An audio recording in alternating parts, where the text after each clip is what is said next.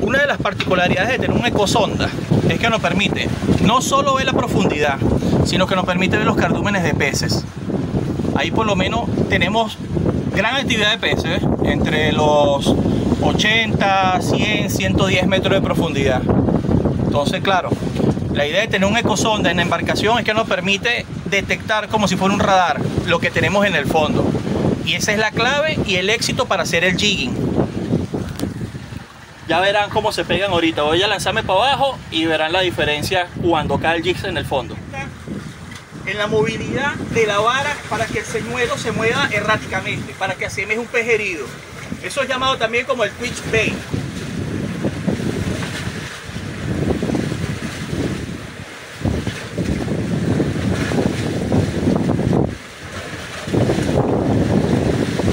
Ok, aquí estamos, ¿eh? Ese es el secreto.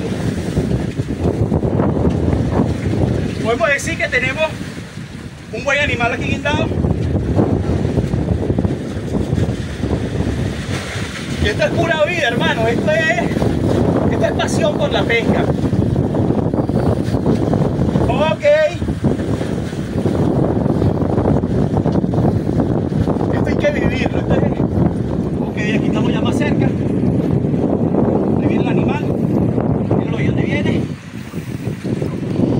está bueno.